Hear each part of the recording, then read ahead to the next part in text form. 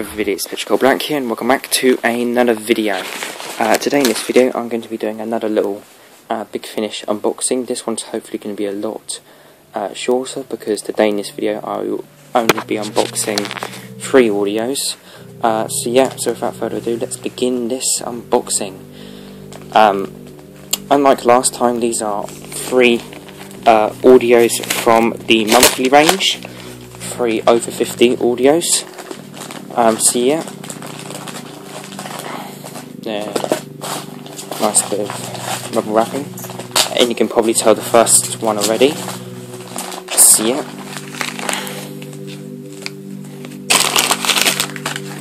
Okay then, so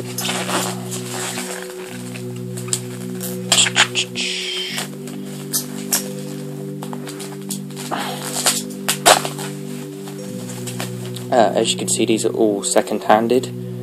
Uh, so yeah.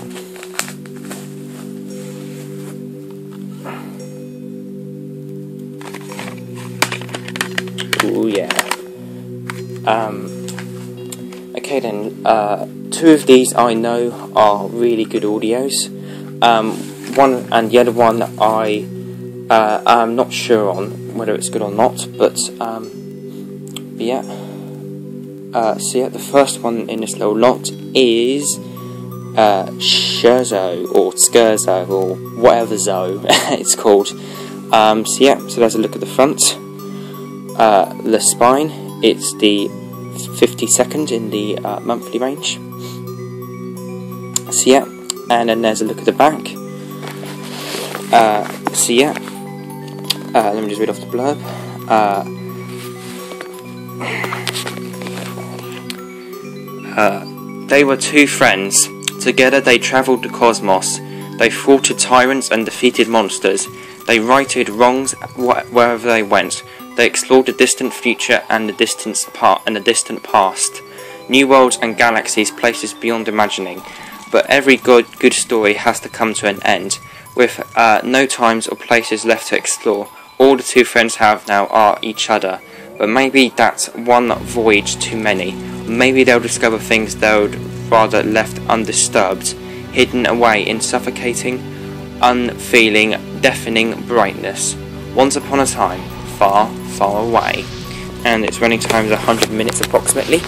Uh, sounds like a very interesting, uh, uh, just from the blurb, it sounds like a very interesting audio, and I know this one's meant to be a very, um, uh, like a dictionary definition of weird. Um, and I do know this is actually the only, uh, I think one of the only, maybe the only Big Finish that actually only has uh, the Doctor and his companions in it, and his companion in the actual story itself, like no other cast members. So it's going to be very interesting listen, and I have heard it's quite good. As you can see, it's a um, 40th anniversary release, uh, and then here is uh, the discs.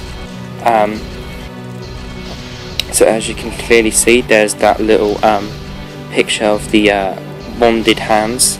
Um, I think the and Charlie holding hands um, to represent friendship. I think because this is meant to be more of a character piece. I think. Um, so yeah, and then here we have disc two containing parts three and four, and a picture of those hands again.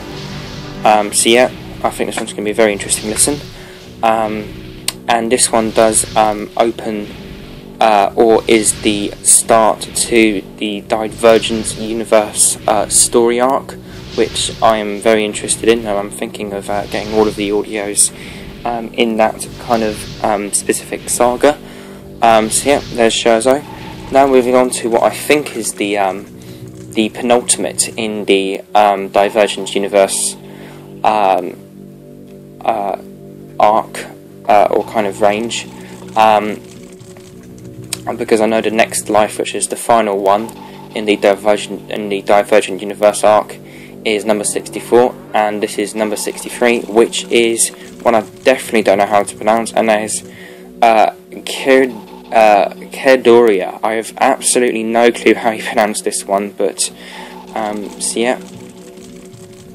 So yeah, I don't think I'm going to listen to this one until I get the creed of the, the creed of the Kromon, which is the first audio to feature Conrad Westmaas as C'rizz. Um, so yeah. Then there's a look at the spine. It's the 63rd in the Big Finish monthly range. Um, so yeah. Uh, Self-exiled to a new universe, separated from the TARDIS, opposed and manipulated by the Divergents and their agent, uh, the Kro'ka. The Kro'ka.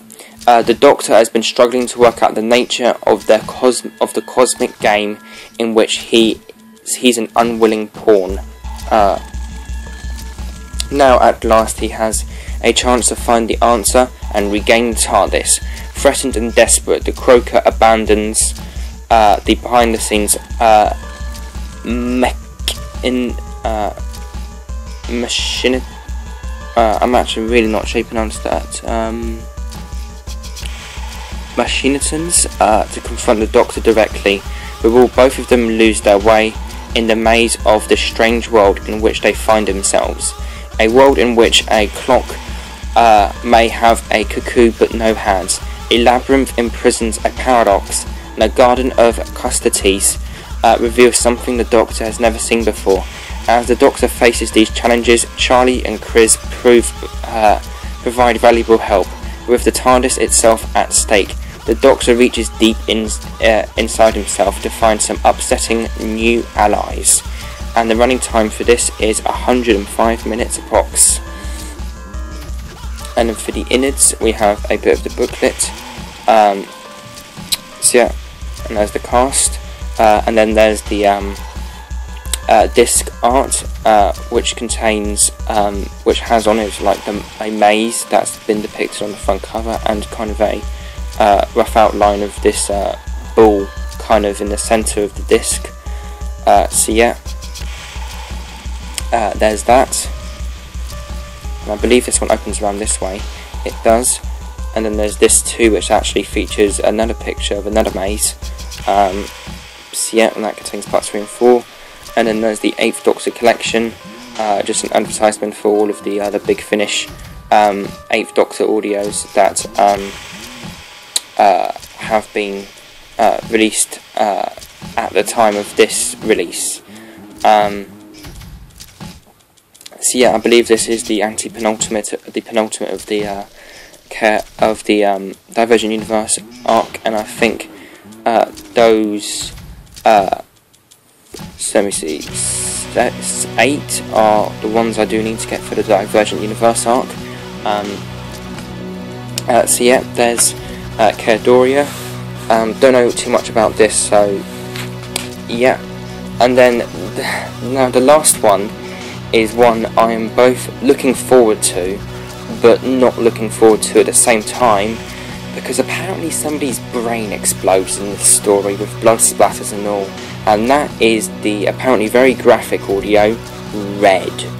Um, so yep so there's a look at the front uh, the spine and it's the 85th in the monthly range. And then there's a look at the back. Um, so yeah uh, subject 2660 Cecilia, uh, Celia uh, Fortunetti, uh, designated citizen of the Needle, subject experiencing traumatic, violent uh, delusions during waking moments. Subject remains pacified and under control of White House. Medication has been prescribed. Subject 0357 V. Vluqueen, des uh, designated uh, matriarch of the, for the Needle. Subject is under constant surveillance due to her wish to experience harm. This is in direct uh, contravention of White Noise's programming. Also, supplier of the drug classified as slow. Editing is required. Subject 0841, Chief Blue technician in a symbiotic relationship and this white noise system, uh, knowledgeable in human psychological evaluation. Subject has been diagnosed a voyeur and a dangerous obsession with the red tape. Machine augmentation is favored to curb the defect. Subject's error. Malign, uh, Melanie Bush, uh, designated companion of Subject 3999. Subject's error is not shipped and is a threat. Her ability to harm has not been checked, uh, compromising the continued security programming of this white noise system. She must be inhibited. Subject 3999. Uh, the Doctor. Subject has committed homicide. This subject now in constant uh, red line. His, his uh, propensity uh, for violence remains unchecked. Analysis suggests uh, synchronization with the killer. The Doctor will attempt to kill again. He must be stopped. So I actually really like that blurb. It doesn't really give um, anything away about the story. I wouldn't say, or too much away about the story. It just kind of um, I kind of like it when audios do that. It's just not. Uh, it's just um, stating some of the characters and giving them a brief description, and not really um, telling you much about the story, which is quite nice. And the running time for this audio is 130 minutes approximately. So yeah, and then there's a look at the booklet. Uh, so yeah, with the cast members and whatnot, and a very sinister picture and somewhat and quite haunting picture of the Seventh Doctor there and then there's disc one, which is uh, completely red. Um, so yeah. And then there's uh, disc two, uh, which contains parts three and four, and then there's an advertisement for the Seventh Doctor collection, uh, starting from the Sirens of Time, going all the way up to the Dark Flame. Uh, so yeah, the Dark Flame being uh, or just kind of listing all of the uh, uh, Seventh Doctor audios as you can see here. Dark Flame being one I'm quite interested in because apparently it's very like a um, Virgin uh, Missing Adventure or Virgin New Adventures kind of, or Virgin Books kind of um, style of audio. Uh, so I am interested in that one.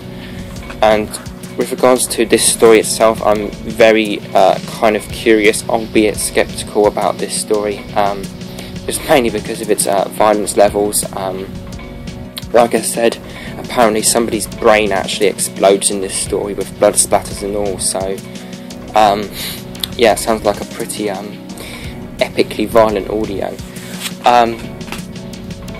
So yeah, and that concludes this, and that pretty much concludes this Big Finish unboxing of uh, Scherzo, uh, uh, and Red. Uh, so yeah, so like, favorite, comment, subscribe. I hope you guys enjoyed this video. Pitch Skull Black, dematerializing.